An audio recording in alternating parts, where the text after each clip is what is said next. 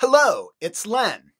In today's video, I want to tackle a subject that I've received many messages and comments about over the years, and that is, did the hugely popular Netflix series Stranger Things get inspiration and or ideas from my personal 1980s VHS home videos? First, before we get into it, if you've never seen my channel or any of my videos, you might be wondering why the producers of Stranger Things would have even the slightest interest in my channel or the videos I post.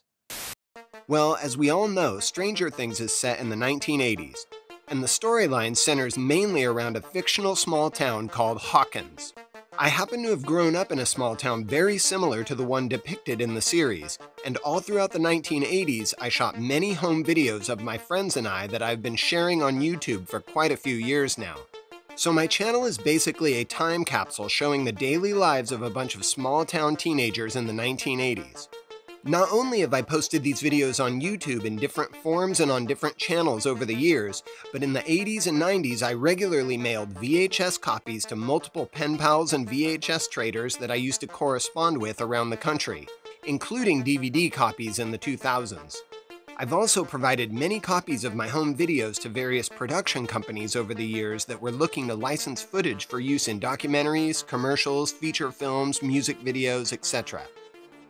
So my home videos have been circulating in one form or another since the late 1980s.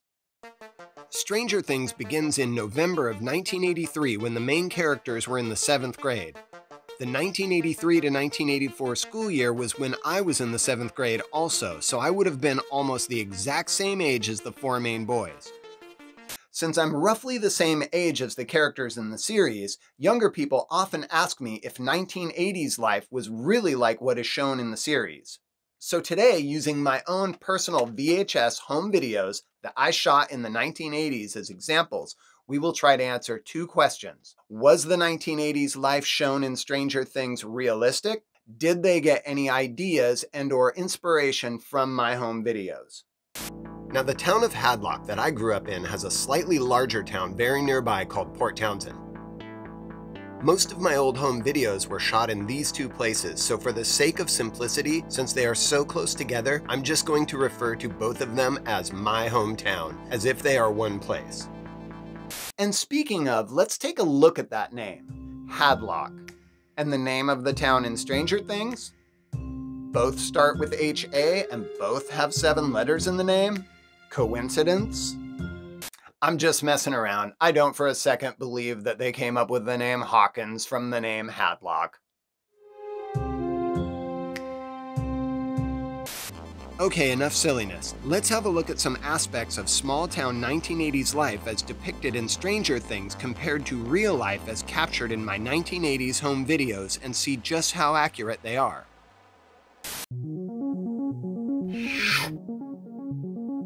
Bike riding. Kids riding their bikes everywhere they go at all times of the day or night. Yes, this is 100% how we traveled before we were old enough to have driver's licenses or cars, especially for all of us that fell into the category known as latchkey kids. A latchkey kid was basically a kid who came home from school to an empty house because the parent or parents were away at work. The term refers to the key to the house that the kid had to carry around with them at all times. If you weren't old enough to drive and there was no one home to drive you where you needed to go, you'd have no choice but to walk or ride your bike. Small towns like the one I grew up in didn't have much of a public transit system either, so you were better off just hopping on your bike. There were shortcut trails all over town to travel without having to be on the main roads, and where the trails ran out, you just pushed and or carried your bike. For many kids, the moment the streetlights turned on was the signal to head home. But for a lot of us, riding around at night in groups or alone was a totally normal activity, so to me, the scenes of the characters riding around in the dark are very realistic, though that probably wouldn't happen much today. The only issue I have as far as realism goes in these scenes are the lights that they use on the bikes. I can honestly say that I didn't know even one kid that used a light when riding at night. I'm sure there were some out there somewhere though, just not among any of the kids I knew.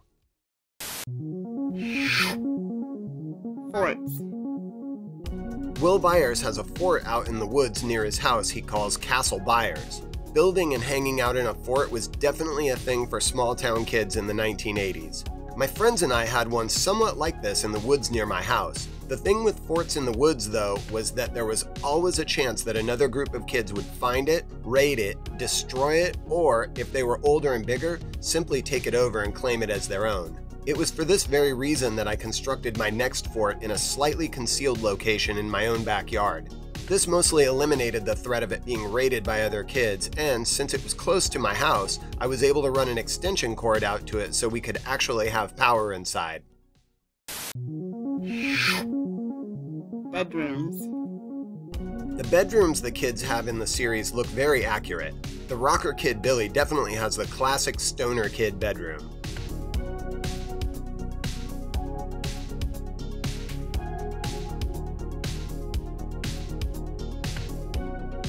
The bedroom of Jonathan Byers is. Wait a minute.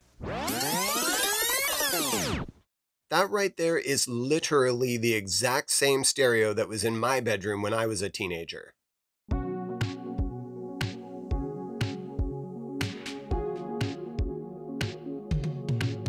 What a coincidence! Police station. The small town sheriff's office located right on the main street.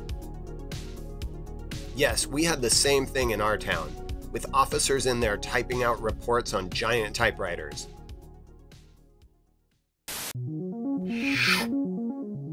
Sneaky teenagers. Barb and Nancy sneaking over to Steve's house for shenanigans while his parents are away.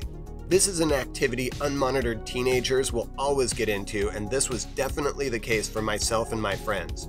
Pretty much the moment parents were gone for any significant length of time, phone calls would be made and people would be invited over to hang out and stir up some kind of trouble.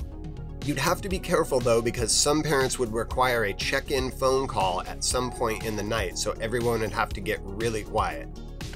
I'll get it. Get everybody quiet.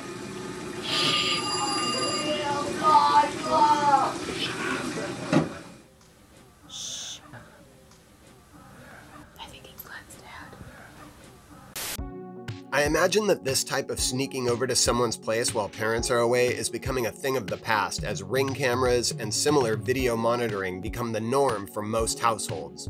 Also, apps that show parents the real-time location of their kids' phones. Sorry, kids. Channel surfing. Scanning the channels to see what's on in those days, that was the only way to see what was on unless you bought or subscribed to something called TV Guide magazine. Or some printed newspapers even contained a local channel guide section inside of it. You also had a very limited number of TV channels to choose from. I remember at one point in the mid 80s being super excited because we were able to get 12 channels. 12! And it wasn't like today where you simply pick the show you want to watch and start binging you were stuck having to watch whatever it was that they were playing at that moment. Stores. The stores they show in Stranger Things have the right vibe for the stores in the 1980s. In the 1980s, 24 hour 7 Eleven type convenience stores started popping up everywhere. This is another thing that is basically unimaginable now stores not being open 24 hours.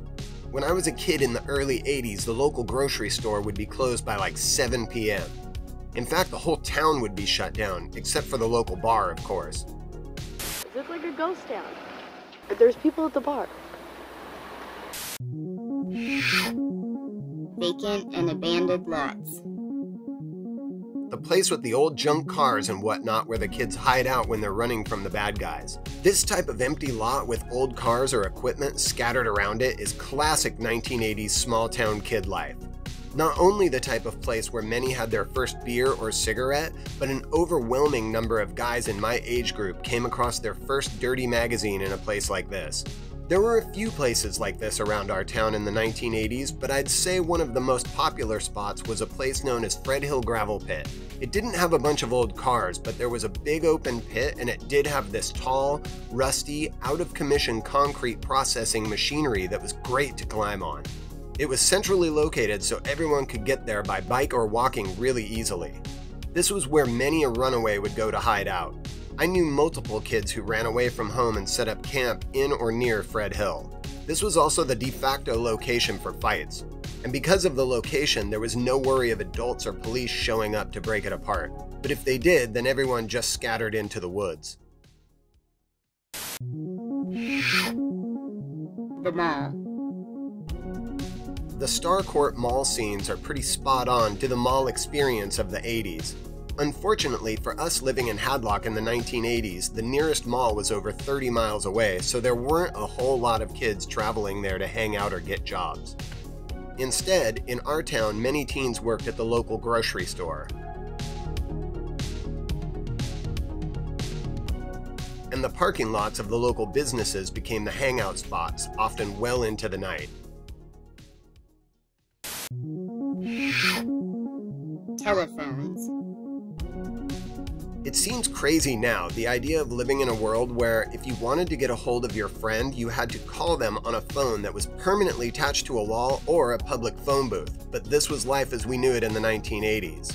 Stranger Things depicted this activity quite accurately, including the annoyance of having a second phone line in your house located in another room where your parents might pick up and listen in or disrupt your very important teenage conversations. Mom, get off the phone! Consider yourselves lucky, all you kids with cell phones out there. Just imagine your mom suddenly popping in on your conversation, as if any of you ever actually talk on the phone to someone anyway. Okay, gotta go.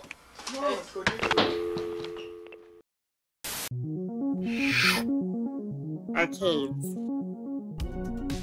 The arcade, the closest thing to heaven on earth for kids in the early to mid 80s, so long as you had some quarters to spend. I got into trouble multiple times for sneaking quarters out of my dad's change jar to go to the arcade and play Stargate just one more time. By the late 80s, arcades were starting to fade though as the popularity of home gaming systems rose. Homes. I would say that the interiors of the homes that they show in Stranger Things look very accurate.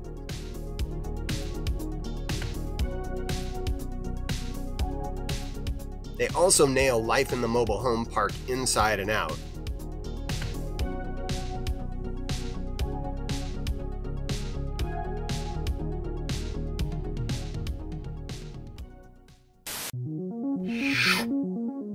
Video rental stores. Family Video, the video rental store that Steve and Robin work at together, is quite accurate. Most Friday afternoons, I would head over to our local video store and rent something for the weekend, usually a horror movie of some kind.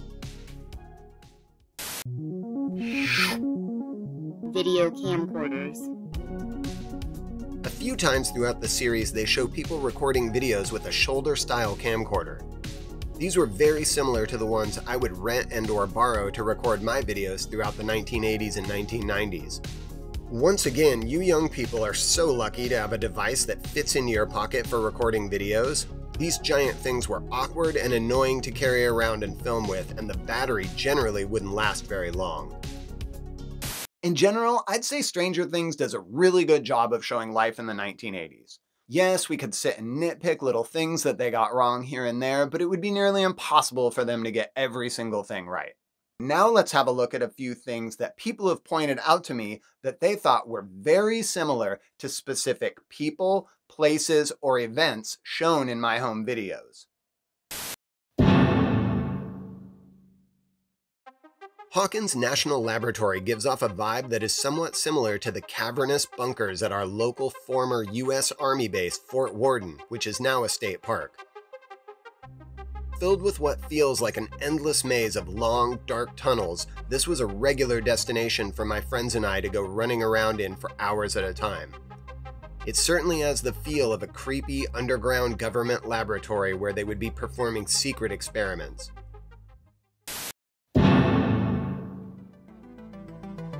When I was a kid in the 1980s, my friends and I used to try to make our own homemade horror movies. None of them really came out very well, and a lot of times they were never even finished. Over the last few years, people have pointed out little things from those homemade films that they felt were similar to the storylines in Stranger Things. Will Byers runs from the monster and locks himself in the family's backyard shed. There is a scene from one of our films where we are being pursued and locked ourselves in the backyard shed.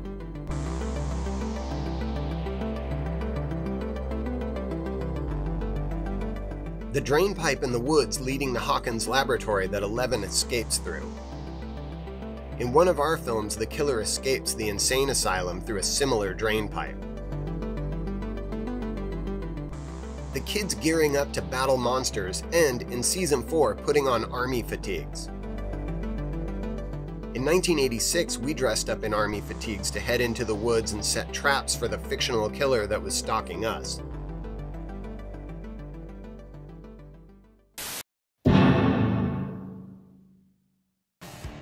In season 2, there is a house party and Motley Crue is playing on the stereo. In the video of my 19th birthday, we are throwing a house party and Motley Crue is also playing over the stereo. A different song than the one in Stranger Things, but Motley Crue just the same. I'm rocking out to Motley Crue, dude. Do it, man.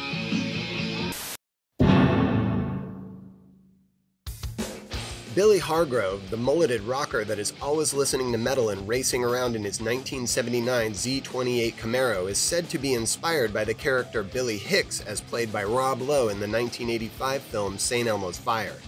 Although he does look like a spitting image of Rob Lowe in the movie, multiple people have pointed out to me that Billy drives a car very similar to the 1980 Pontiac Trans Am that my rocker friend raced around our town in while listening to metal in the late 80s. And my friend's name? Yes, it was Billy.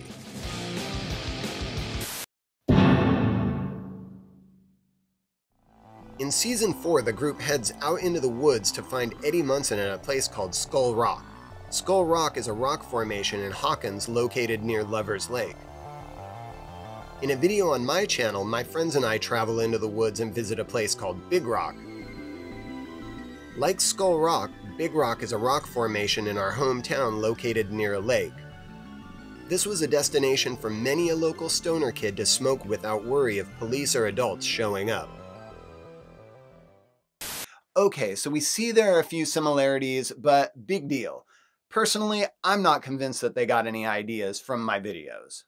Yes, if you search YouTube or the internet for anything like life in the 80s or growing up in the 80s or teenagers in the 80s or something like that, my videos are definitely going to come up. And yes, these videos have been circulating for a long time, but it doesn't really prove anything.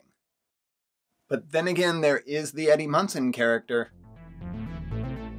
People started messaging me and sending me pictures of him pretty much the moment season 4 dropped.